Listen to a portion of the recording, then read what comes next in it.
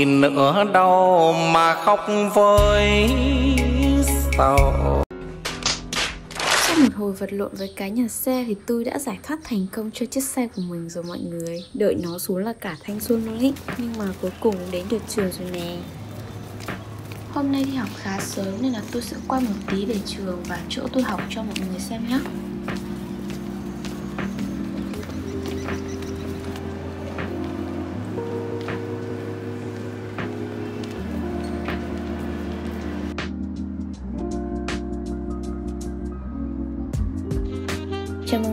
với Look Global, nước Anh thư nhỏ của trường đại học FPT. Ở đây chúng ta sẽ được học tiếng Anh hoàn toàn và được dùng 100% tiếng Anh, không được dùng tiếng Việt đâu nhá. Và không được dùng smartphone trong giờ học. Nhưng tôi đã phá lệ để quay cho mọi người xem ấy. Học ở đây khá là vui. Mọi người, kiểu là mình sẽ vừa cải thiện được tiếng Anh và vừa quen được rất là nhiều bạn mới luôn sau khi về nhà thì tôi sẽ làm bài tập mọi người ạ. Nó sẽ giúp mình ôn lại các kiến thức mình đã học hôm nay Và cũng tạo nên một thói quen tốt cho sinh viên, Đó chính là học xong thì chúng ta nên thực hành luôn nhé.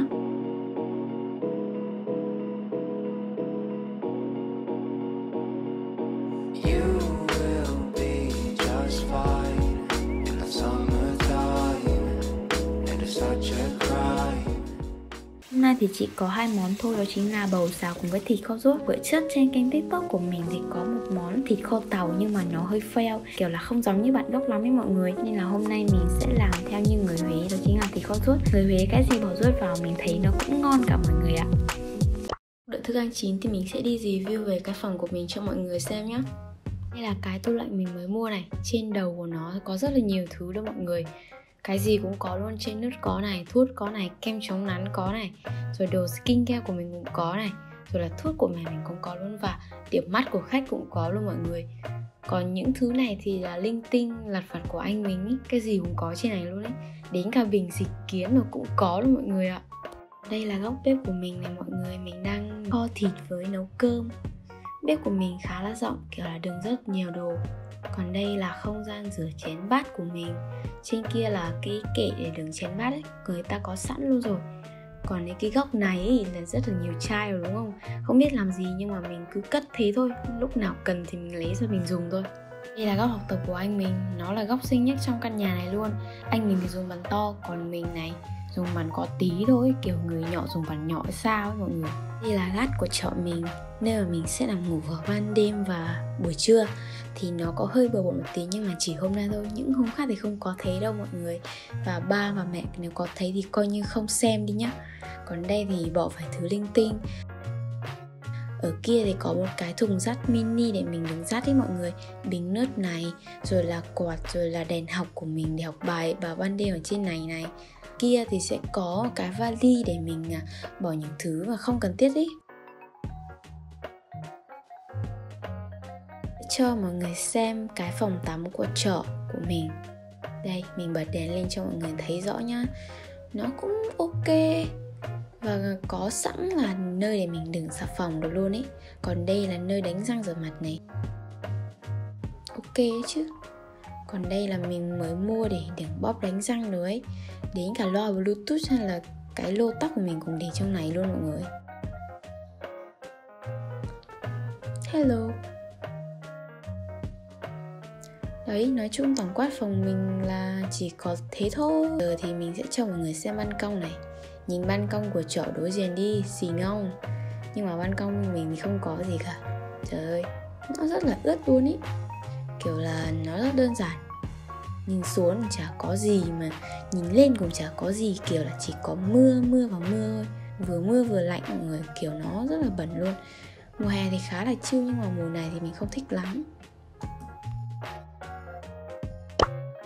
Giờ ăn đến rồi, giờ ăn đến rồi. Giờ thì cùng mình ăn cơm trưa xem nào.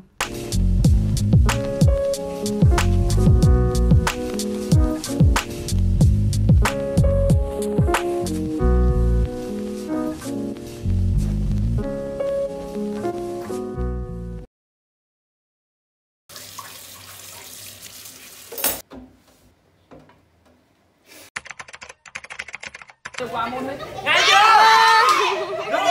chứ không qua môn kìa này này này này này muốn muốn gì đấy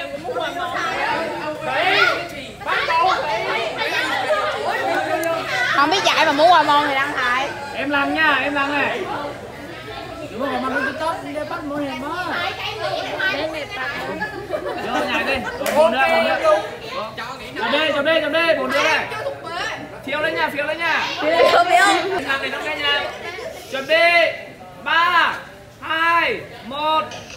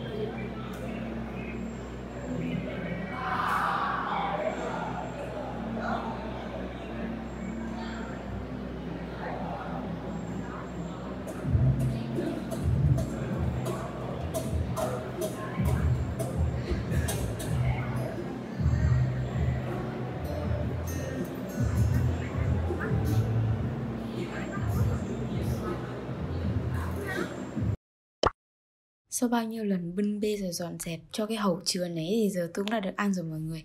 Chắc chắn đây là tô mì quảng ngon nhất trên đời luôn ấy. Kiểu là khi mình đói mà được ăn tô mì quảng này rất, rất rất là tuyệt vời luôn ấy. Thực sự nó rất rất rất là ngon luôn mọi người.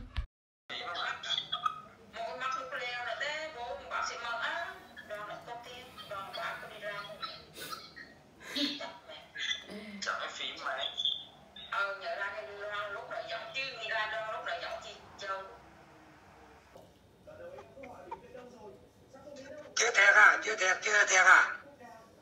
Ơi chưa anh sợ mấy anh sợ mà. Đến là 11 rưỡi hai giờ rồi đến là 12 giờ rồi chơi mà sợ gì nữa. Bố cái thẻ đấy đi. Ờ, tao thèm được sau khi nói chuyện xong với mọi người thì tôi sẽ đi viết ra những thứ mình cần làm cho ngày mai.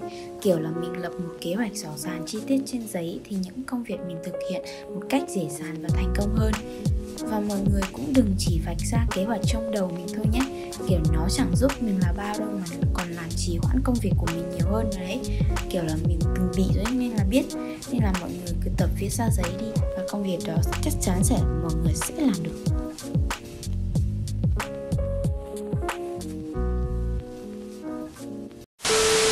Sau một ngày bụi bặm thì đây là lúc chúng ta nên thư giãn cho làn da của mình.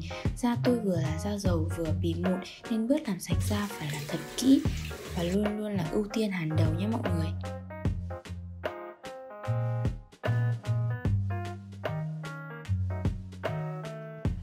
Và một bước không thể thiếu trong chu trình skincare của tôi đó chính là đắp mắt. Và mắt hôm nay tôi dùng là Quality First Only One Six Mask của Nhật Bản. Loại này thì khả năng cất ẩm và cân bằng da siêu hiệu quả với bản thành phần lành tính, chiết xuất 100% thiên nhiên nên nó phù hợp với tất cả các loại da. Người bận rộn hay là những hôm cần chăm sóc da tập trung phục hồi tổn thương như sau. Giai đoạn nặn mụn. Và nó có hiệu quả sau 3 đến 4 ngày sử dụng.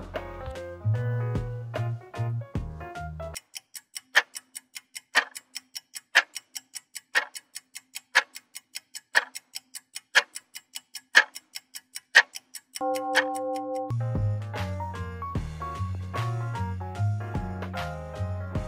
mắt xong thì chúng ta hãy massage nhẹ nhàng để đẩy các dưỡng chất còn dư trên mặt vào sâu bên trong, hấp thụ vào da tốt hơn, đồng thời lưu thông tuần hoàn máu giúp da trở nên mịn màng, hồng hào hơn. Và đây cũng là một cách hiệu quả để cải thiện nếp nhăn.